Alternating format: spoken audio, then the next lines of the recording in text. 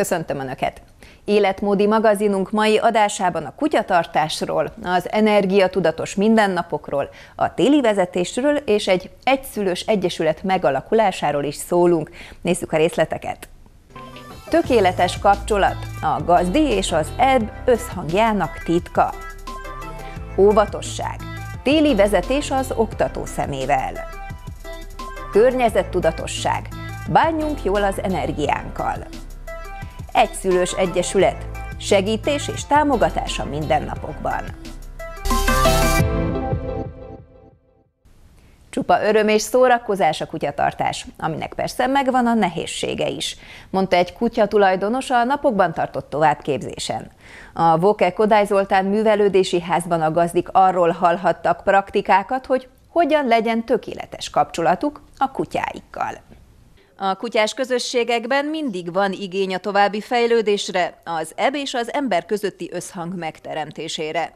Nyírádi Ivetta a program szervezője, két kutya tulajdonosa.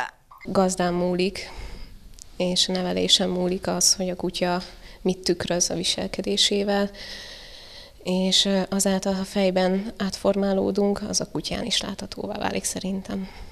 Ehhez elméleti tudással segítette hozzá a résztvevőket Angyal Zsolt, aki sokak számára ismerős Nagykanizsán. Én ugye régebben a Nagykanizsai Menhelyen kezdtem, és mindig is szívem vágya volt visszatérni, és most tudtam itt segíteni ugye az itt lévő gazdiknak remélem. Rengeteget tevékenykedtem más kutyaiskolákban, szolgálati vonalon is tevékenykedtem, tehát maga a kutyázásom rengeteg továbbképzésekre jártam, külföldre, belföldre, és próbáltam a tudásomat még színesebbé tenni, mert ahány előadó, annyi fajta elmélet, tehát én mindig erre szoktam buzdítani gyakorlatilag mindenkit, akár hány tanulóm van, akár hova megyek, hogy mindig menjenek, minél több szakember, és tanuljanak, tanuljanak, tanuljanak, mert egy módszer az nem azt gondolom, hogy elég. Tehát nem lehet egy kutyára egy sémánt sablont ráadni, hanem folyamatosan bővíteni kell a tudásunkat.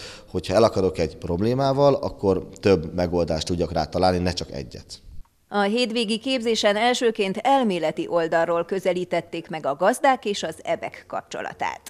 Nagyon sok viselkedéstani dolgot hallgattunk, nagyon sok olyan praktikát, amit a hétköznapokban tudunk használni, illetve egészségügyi kérdésekről is szó esett, ami szintén nagyon hasznos.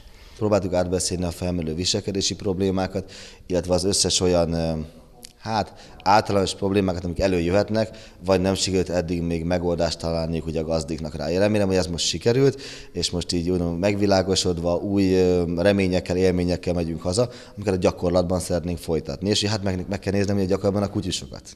Mik azok az alapvető hibák, amit majdnem minden gazdi elkövet, és amire nagyon konkrétan oda kell figyelni? Hát, ha egyet kéne mondanom, azt gondolom, hogy a kutyának ugye szerepe a családban. Ugye mindenki viszonylag ilyen nagyon családtag, családtagként kezeljük, ami egy nagyon pozitív, de ezáltal a másik oldal, a keretek, korlátok, szabályok rész sajnos nincsen meg. És ezáltal ugye a kutya sokszor a gazdik fejére nő. És ezeknek a kezelésébe próbáltam igazából én segíteni, hogy is kell ezeket valójában kezelni, és úgy, hogy nem feltétlen fizikális korrigációt kell alkalmazni, hanem így az, a kutya, hogy mit gondol, és egy-két praktikákkal hogyan lehet túljárni az eszén, úgy, hogy közben a pozíciónkat tudjuk a kutyával szembe erősíteni. A gazdikat a különböző továbbképzések segítik a nevelésben, hiszen fajtánként is eltérő módon kell bánni egy-egy állattal vadászkutya például, meg egy őrzővé típusú kutya tök máshogy működik. És fajtánként, egyedenként belül is változóak ugye a tulajdonságok, meg a magatartás formák, tehát azokon belül is alkalmazandóak olyan praktikák, amikkel elősegítjük a fejlődésüket. És hogy miért is érdemes egyáltalán kutyát tartani? Csupa öröm és szórakozás, annak ellenére, hogy megvan a nehézsége. És szerintem egy olyan fajta kötődés, amit érdemes megtapasztalni az embernek. Szeretni való, imádni való egy igazi társ, bennük nagyon csalódni nem lehet, úgyhogy én mindenkinek javaslom és búzítok mindenkit, hogy kutya, kutya, kutya, kutya. Az elméleti képzéseken túl a foglalkozások a jövőben gyakorlati résszel is kiegészülnek, így is segítve a gazdikat. Az óvatosság és a gépjármű megfelelő műszaki állapota az a két fontos tényező, amelyel sokat tehetünk a biztonságos téli vezetésért. Minden közlekedőnek figyelembe kell venni azt a tényt, hogy más a téli utakon való vezetés. Havazás nélkül is gondolni kell a megváltozott útviszonyokra, a sebesség helyes megválasztására, a féktávolság megfelelő felmérésére. Az utakon télen gyakrabban érzékelhetőek bizonytalankodó, tapasztalatlan sofőrök. Aki gyakran közlekedik télen, annak, annak könnyebb az átállás. Aki nem gyakran közlekedik, vagy ritkán ül autóba télen, ő természetesen egy kicsit jobban tart tőle, illetve még attól is függ, hogy az illető például milyen időszakban vizsgázott, milyen időszakban járt, tanult meg autót vezetni, mert aki télen tanul meg autót vezetni, ő már eleve tudja azt a fajta közlekedési módot. A nyári tanulók azok nagyon sokszor nem tudják motorfék használatát, nem részesítik előnyben. Akik télen tanulnak, azok meg gyakrabban tudják ezt így használni vagy alkalmazni. Elővigyázatosság, még koncentráltabb odafigyelés. Ezzel kell számolni a sofőröknek télen. A téli vezetés az alapvetően arról szól, hogy a megváltozott útviszonyokhoz kell alkalmazkodni. És ennek megfelelően ugye óvatosabban kell közlekedni. Az indulásoknál, a kanyarodásoknál, a megállásoknál figyelemmel kell lenni arra, hogy csúszhat az út. Most ez nem azt jelenti, hogy mindig csúszik, de, de ott van a lehetősége a megcsúszásnak. Tehát óvatosabban kell közlekedni.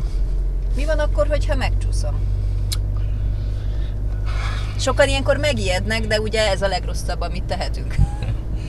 Igen, az ijegység az nem jó, de ez egy olyan emberi reakció, amit igazából szabályozni nem lehet. Tehát, hogyha valaki megcsúszik, akkor bizonyos reflexek kezdenek el működni, és ezek a reflexek, ezek vagy jól működnek, vagy nem jól. Ugye az alapvető tanítás az az, hogy a csúszás irányába kell az autót kormányozni.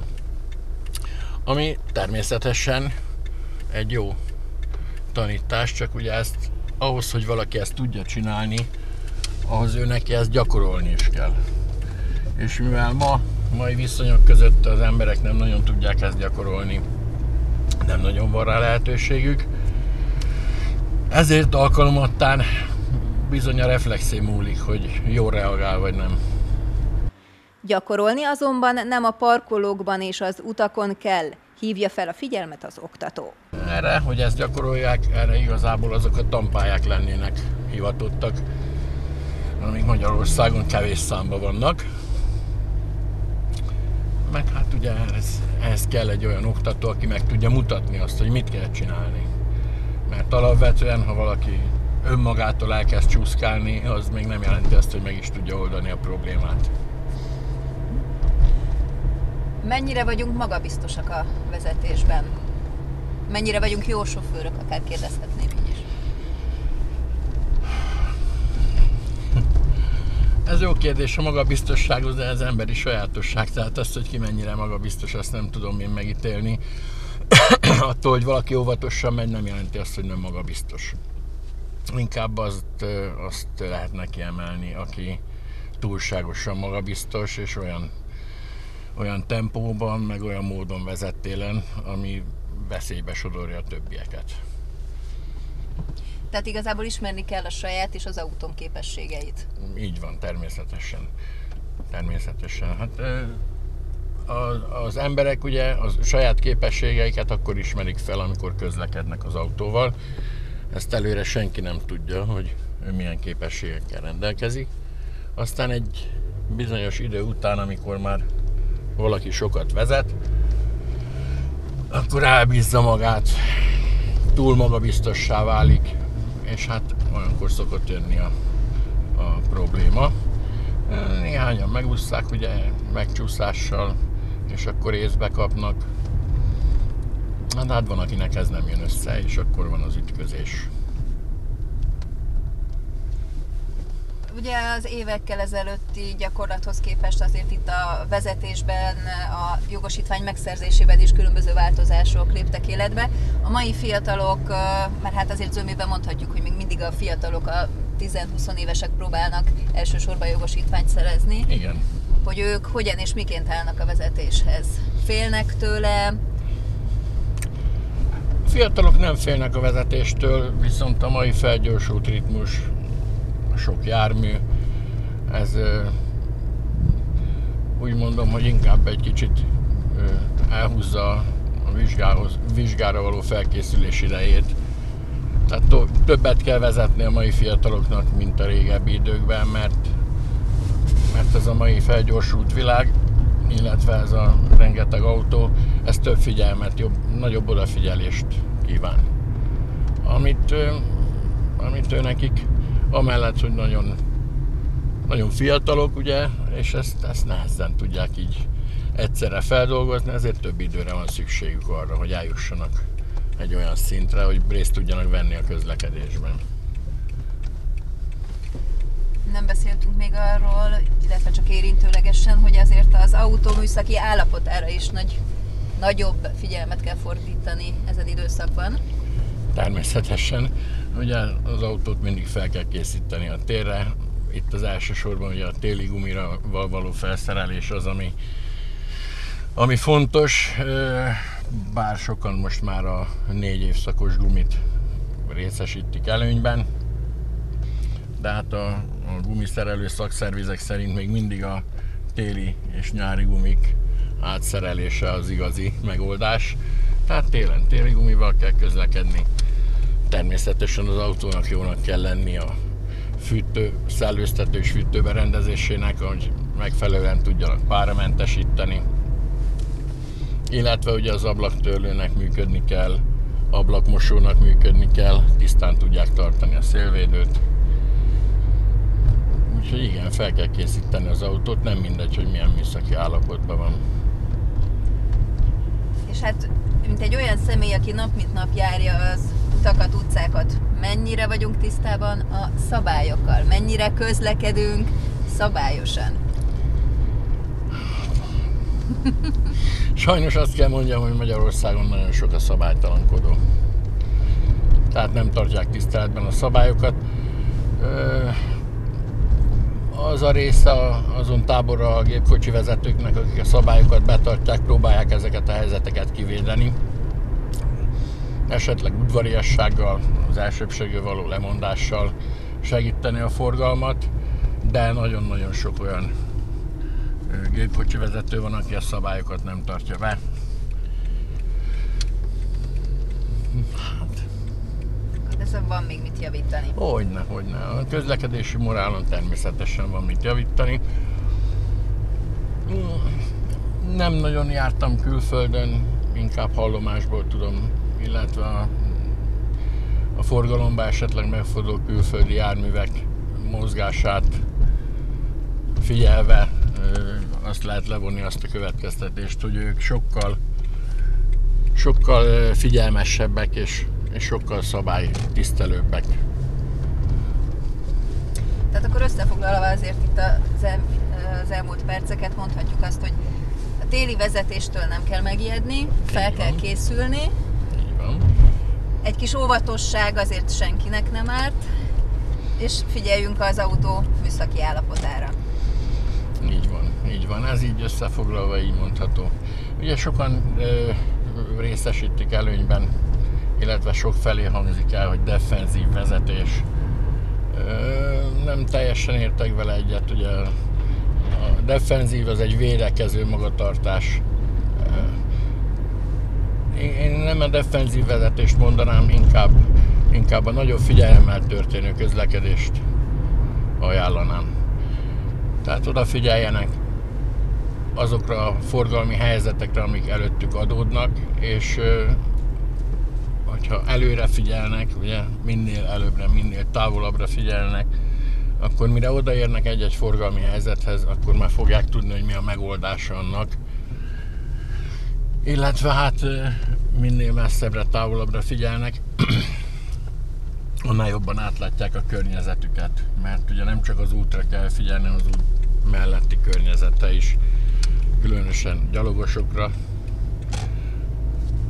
akik sokszor nem veszik figyelembe azt, hogy a télen a, az autó az nem biztos, hogy olyan gyorsan meg tud állni, mint egy nyári útviszonyok között. Hát és akkor mindenki vezessen óvatosan, és egymásra odafigyelve. Természetesen hát a közlekedés az alapvetően egy olyan dolog, amiben partnernek kell lenni. Tehát ez nem versenypálya, itt nem egymással kell versenyezni, hanem partnernek kell lenni. Hogyha látjuk, hogy a másik esetleg ügyetlenebb, vagy ö, bizonytalanabb, akkor segíteni kell őt egy kicsit abba, hogy ugyan már ő is eljusson oda, ahova szeretne. Gyakorlati példák a mindennapokban mindenki számára megvalósítható energiahasznosítási módok hangzottak el nemrég egy előadáson a Hevesi Sándor Művelődési Központban. Az intézmény és a Kán Károly Környezetvédelmi Egyesület programja ezúttal az idősebbeket várta életmódprogrammal. Egyszerű, a mindennapi gyakorlatban megvalósítható, környezetkímélő életmódról beszélgettek a résztvevők. Egy keopos pályázatnak a része ez az egész program. A Zöld Jövő címet viseli ez a pályázat, amely ö, azt szeretné erősíteni, hogy az emberekbe a környezettudatosság erősödjön, egészen, egészen az óvodáskortól, egészen a felnőtt korig, sőt a nyugdíjas korig is.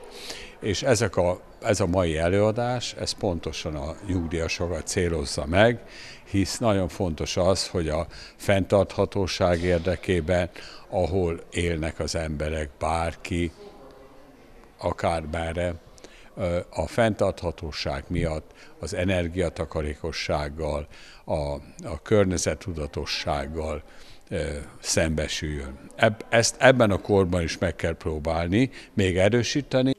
A környezettudatosság erősítése az összes korosztályban fontos, hiszen egyénileg mindenki sokat tehet környezetbarát szemléletmódjával. Eleve az nagyon fontos, hogy a nyugdíjasokat megszólítsuk, és kérdezzünk tőlük valamit, vagy adjunk nekik.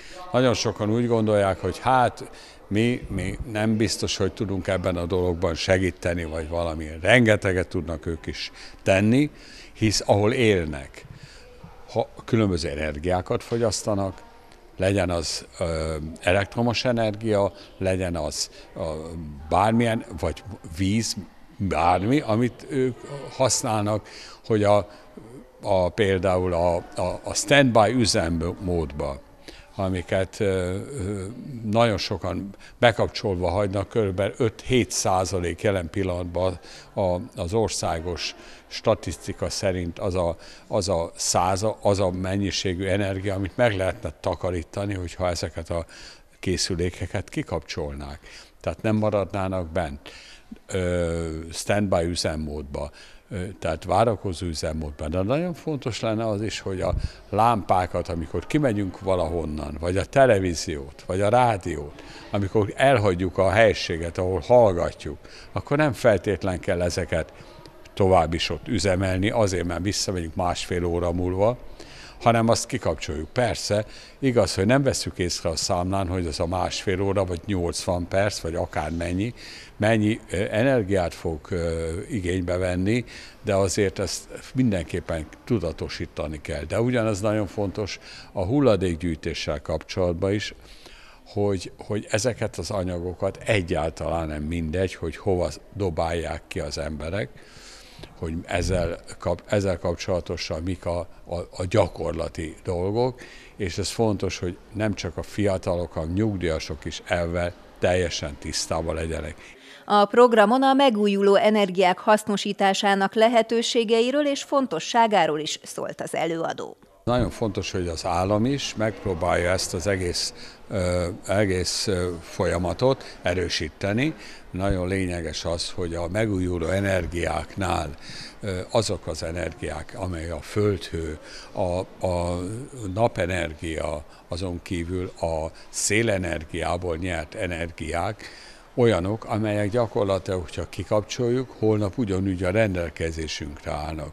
Abban az esetben, ha mi csak másban nem gondolkodunk, mint a fosszilis energiákba, mint például a, a fa, vagy akár a szén, vagy a bármi más, ezek, a, amelyeket egyszer elégetünk, vagy a gáz egyszer elégetünk, és annak vége van, utána nincs többe, abból már nincs több, tehát újból kell bányászni, újból kell vásárolni, és ez egyértelműen az egész Föld számára egy nagyon, nagyon rossz jövőt jósol, ugyanis a, a megújuló energiák azok állandóan a kezünkben vannak, legyünk a vízenergiáról például, mindig itt vannak, de hogyha ilyen energiákról gondolunk, mint amiket az előbb említettem, ezek a foszilis energiák, ezek bizony korlátozott számba vannak az emberiség számára, nem csak itt nekünk Magyarországon, Nagykanizsán, hanem az egész világon, és ezeket az energiákat egy bizonyos korlátok között tudjuk használni, mert ezek el, egy idő után el fognak fogyni. Tehát nem marad számunkra más lehetőség, mint a megújuló energiák. Ezt pedig egyre többen tisztán látják, így növekszik azok száma, akik odafigyelnek a környezetükre. Már magában az első erőrelépés az, hogy foglalkozunk ezzel a témával, például mi is. De ugyanakkor nagyon sok helyen olyan pályázatok vannak, és olyan lehetőségek vannak, akár közösségeknek, lakóközösségeknek, akár önkormányzatoknak, akár régióknak, amelyek ezeket az energiáknak a felhasználását segítik elő, és ez egyértelműen azt bizonyítja, hogy ott az embereknek a tudatfejlesztése, a tudatváltozása egyértelműen ebbe az irányba kell, hogy elmozduljon, mivel ők is látják a gyakorlatból, miután ez ilyen pályázattal foglalkoznak, illetve ebben ebbe nyertesek, hogy mindenképpen érdemes ebbe gondolkodni, az előzőekben, a korábbi években megszokotthoz képest. Az energiatudatos életmód kialakításával a mindennapokban minden korosztálynak törődni kell, véli a szakember. Február közepén egy szülős egyesület kezdi meg működését Nagykanizsán. A hiánypótló szervezetet megálmodó és létrehozó dr. Német Györgyivel az indulásról beszélgettünk. Többféle élethelyzet hozhatja úgy, hogy valaki magára marad a gyermeknevelésben. Magyarországon 350 ezer olyan család él, amelyben egy szülő neveli a kiskorúakat. Egy 2016-os felmérés szerint ez a gyermekek mintegy egyharmadát érinti. A segítség tehát elkél. Márai Füves könyvében az egyik tézis a parancsoló feladatokról szól, és annak az első mondata az, hogy egy napon megszólal a hang. Talán ide tudnám visszavezetni azt, hogy bennem egy napon megszólalt egy hang.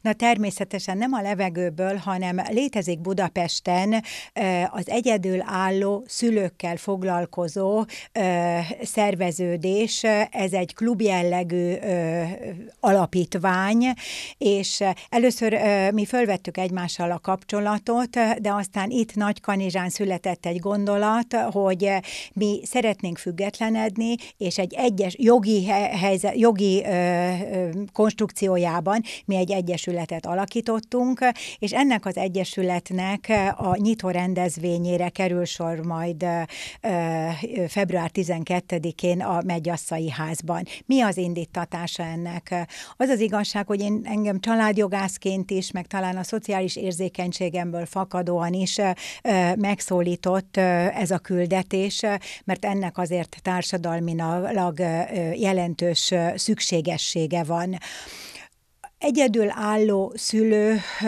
státuszt az ember általában nem magának választ. Ez vagy valamilyen magatartásból fakadóan alakul ki, vagy egy, egy haláleset kapcsán, és az életet ez azért úgy elnehezíti.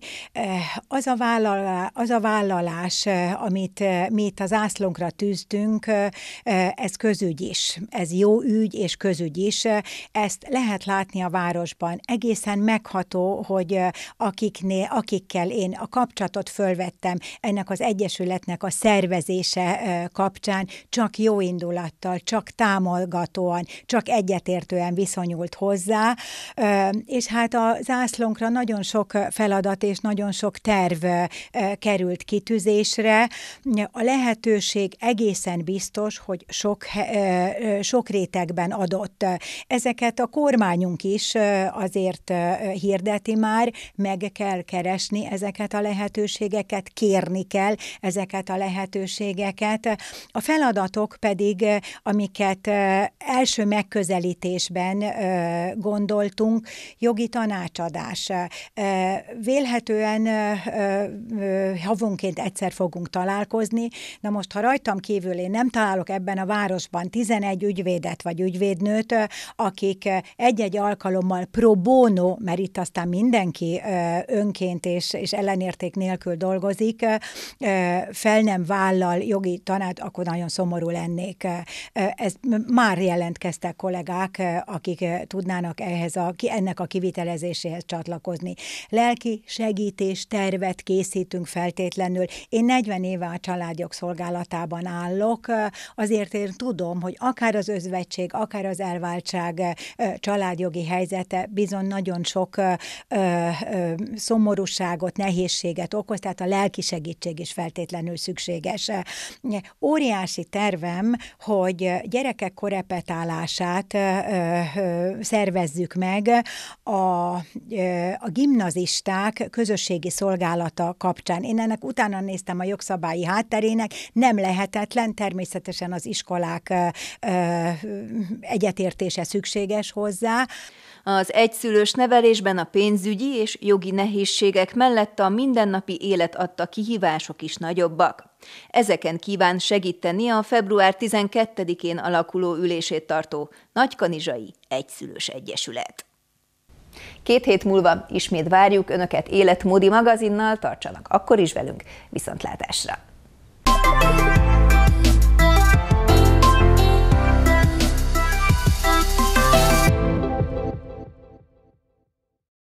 Műsorvezetőt a Diva Fashion öltöztette.